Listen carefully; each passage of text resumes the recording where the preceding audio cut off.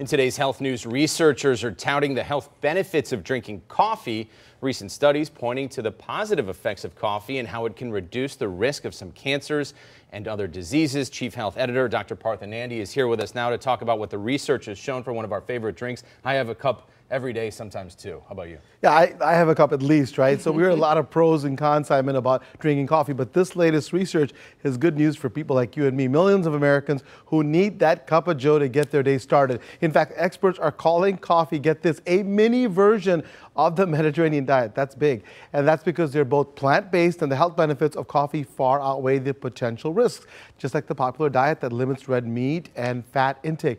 Now, Texas A&M University professor Stephen Safe, who specializes in cancer prevention research, uh, he reviewed expert studies about coffee and found that it can help reduce the risk of certain types of cancer and other diseases. And here's what the research revealed. Drinking coffee lowered the risk for type 2 diabetes by, get this, 22%. And people who had more than two cups of coffee a day had a nearly 70% lower risk of liver cancer, a 50% lower risk of colon and breast cancer, and a 30% lower risk for thyroid cancer. Simon just reached for another cup right there after I said that. also had a 30% lower risk of developing Parkinson's disease compared to non-coffee drinkers. And coffee, get this, helped reduce the risk of certain neurological diseases like dementia.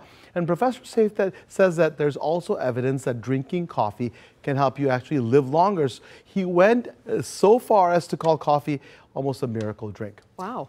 Do we know what it is that makes coffee so healthy and can you overdo it? Yeah, important question, right? So there's a lot of research, Simon, that still is needed to understand more about what makes coffee a healthy beverage. But here's what we do know. Coffee contains many of the same ingredients found in parts of the Mediterranean diet, which also has been found to lower the risk of some cancers.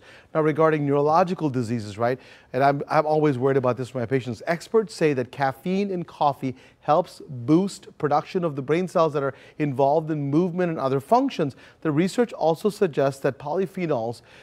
big word, right, that found naturally in coffee can help reduce inflammation, which is a common cause of disease. And finally, coffee increases your body's metabolism, which can, of course, add to its health benefits.